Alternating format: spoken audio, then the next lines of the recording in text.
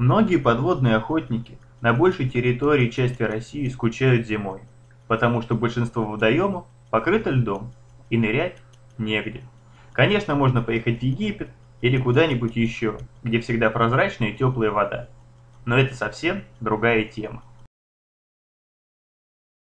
Поскольку осенний сезон был сорван сбросом воды в Астраханской области, о чем я рассказывал в одной из предыдущих статей, решили попытаться реабилитироваться зимой, когда водоемы уже были покрыты 30-сантиметровым слоем льда.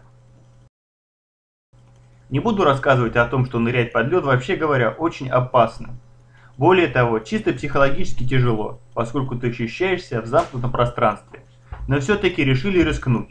А чтобы риск был более-менее обоснованным, решили пройтись по местам, где глубина была до 3,5 метров. Надо отметить, что уровень воды в реке на данный момент был выше нормы на полтора метра, так что мест подходящих нам было не так много.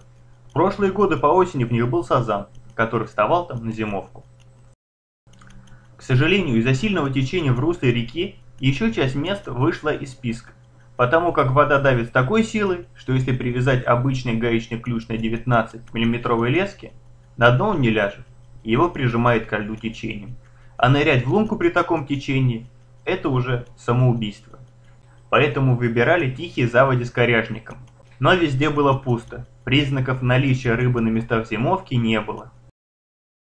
Проверили еще пару мест, ситуация была везде примерно одинаковой. Уже на обратном пути решили заехать на глубокую зимовальную яму. На данный момент глубина там составляла 8,5 метров. И просто пустили камеру на дно но и на дне ямы было пусто. Уже позже у местных жителей выяснили, что рыбы на ямах нет, и из-за уровня воды и сильного течения рыба гуляет по руслу реки.